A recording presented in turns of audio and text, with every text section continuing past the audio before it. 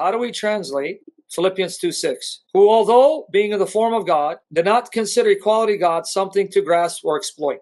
You ready now to get confused? Watch here. Philippians 2 6. Be of that mind in yourselves that was also known to one Jesus who, subsisting God's form, did not deem being on equal terms with God a thing to be grasped. Now, watch the confusion in translations. There are translations who will say that though Jesus is in the form of God or nature of God, he did not consider equality with God something to grasp at. What does that mean? He didn't grasp at it because he wasn't equal and didn't try to be, or he didn't hold on to his equality but set it aside. That's why I say, suffice it to say, this has been a very hotly debated text whose precise meaning has been and continues to be disputed among both liberal and conservative biblical scholarship. One point of contention is whether the hymn poem creed is stating that Christ was God's equal, who did not exploit his equality to his own advantage, but rather chose to humble himself. Or is this actually teaching that Christ wasn't equal to God and didn't try to be?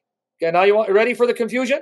Is Philippians 2 6 saying Christ did not grasp at equality with God because he wasn't equal and didn't try to be? Or is it saying Christ did not grasp at equality God, meaning though he was equal with God, he didn't hold on to it but set it aside? Depends on what Bible you read. Here are translations that clearly show He's not equal. Who existing in the form of God did not consider being equal to God something to seize and hold. Now that's confusing. He didn't hold on to it, seize it because he wasn't, or was he? Who existing in the form of God counted not the being on an equality with God a thing to be grasped. Does that mean he was and didn't hold on to it, or he wasn't and didn't try to aim for it? Who existing in the form of God did not consider being equal to God something to be grasped, a thing to be grasped. Again, a thing to be grasped. He did not grasp at equality with God. Damn, this is even more explicit. He wasn't.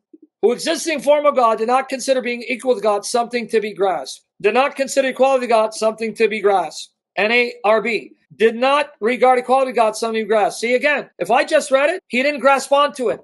When you don't grasp on it, means you're not holding on to something, reaching out for something. You see the confusion, right? Okay, well, wait, watch this one. Here's the footnote to the New American Bible Revised Edition. Either reference to Christ's pre-existence, so even your note will confuse you. This is either referring to Christ in his pre-existence, those aspects of divinity that he was willing to give up in order to serve in human form, or to what the man Jesus refused to grasp at to attain divinity. You see, Catholics, what this Bible is going to do to you? It's saying it either means that Jesus is a man who didn't try to be divine. Many see an allusion to the Genesis story. Unlike Adam, Jesus, though in the form of God, did not reach out for equality with God. You see the confusion? This is the New American Bible Revised Edition, Catholics. New American Standard Bible. Did not consider, did not regard equality with God a thing to be grasped. You see the confusion, right? That can mean he didn't try to be something he wasn't equal, or he didn't hold on to his equality. Who, though he exists form of God, did not regard equality with God as something grasp. NET.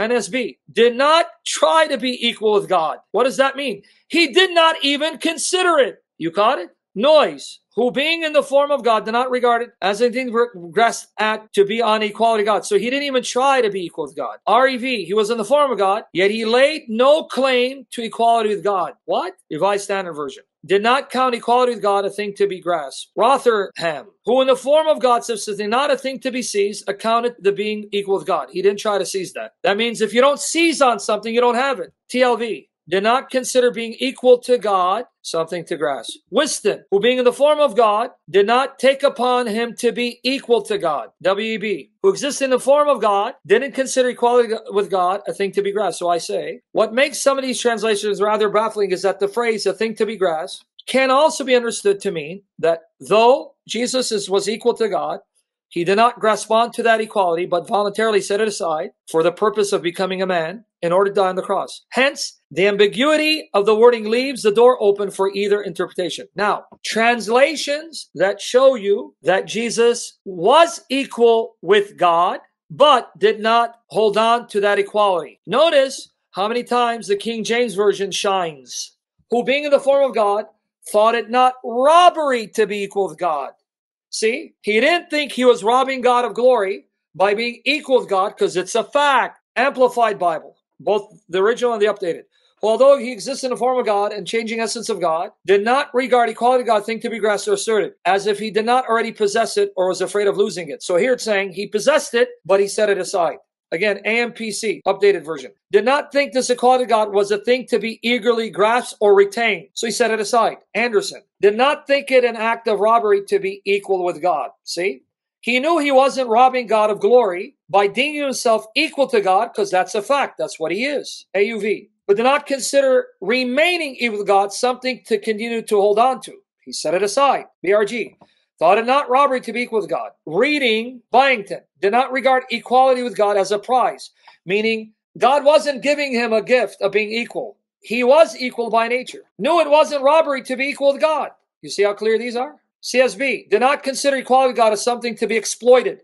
He didn't take advantage and exploit his status of being equal to God. CB, he did not consider being with God something to exploit. CV, but he did not try to remain equal with God. He did not regard equality to God something to be possessed by force. Okay, CJB, CLV, deems it not pillaging to be equal to God. He wasn't pillaging, plundering, robbing God of glory by deeming himself to be his equal, because that's what he was. Darby, you see it. So though it thought it not robbery to be equal to God. ESB, deemed it not usurpation, that he was usurping God for deeming himself to be equal to Elohim. He did not consider equality God as a prize to be displayed. He didn't take advantage of it. EHV, ERV. But he did not think that his being equal with God was something to use for his own benefit. Etheridge considered this not to be robbery. He didn't think he was robbing God by deeming himself to be the co-equal of Allah, because this is the English translation of Syriac. God be, taught it not robbery equal with God. JW, he did not take advantage of his equality. Let's jump, because there's a lot. ISV, in God's own form existed he and shared with the God equality, deemed nothing needed grasping.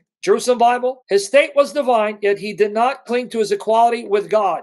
You get it, right? There's too many. Let me go to the NIV. You're going to see this. Let's hear these. Let's read these. Although he's in the form of God, equal God, he did not take advantage of this equality. NCV, Christ himself was like God in everything, but he did not think that being equal with God was something to be used for his own benefit. New International Reader's Version, in his very nature, was God. Jesus was equal with God, but Jesus didn't take advantage of the fact. NIV, who being in very nature God, did not consider equality God something to be used to his own advantage. So you get it, right? NTE, right here, did not regard his equality with God as something he ought to exploit.